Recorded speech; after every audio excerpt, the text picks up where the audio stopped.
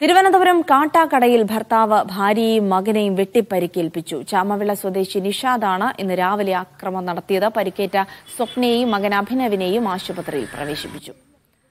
ഷിജോ കുര്യൻ വിവരങ്ങൾ നൽകും. ഷിജോ എന്താണ് ഉണ്ടായത് ഇന്ന് രാവിലെ ആറ് മണിയോടുകൂടിയാണ് തിരുവനന്തപുരം കാട്ടാക്കടയിൽ ഭാര്യയെയും മകനെയും ഭർത്താവ് വെട്ടി പരിക്കേൽപ്പിച്ചത് കുടുംബ പ്രശ്നത്തെ തുടർന്നാണ് ഈ നിഷാദ ഭാര്യ സ്വപ്നയെയും മകൻ അഭിനവിനെയും വെട്ടി പരിക്കേൽപ്പിച്ചതെന്നാണ് നമുക്ക് പോലീസിൽ നിന്ന് അറിയാൻ കഴിയുന്നത്. ഇന്ന് രാവിലെ ആറ് മണിയോടുകൂടിയായിരുന്നു ആ, ഈ സംഭവം. അതിനുശേഷം ഒളിവിൽ പോയ നിഷാദിന് വേണ്ടി തിരിച്ച് ആരംഭിച്ചിട്ടുണ്ട്.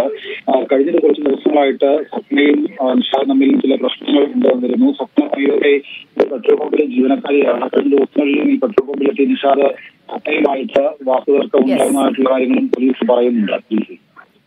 ശരി.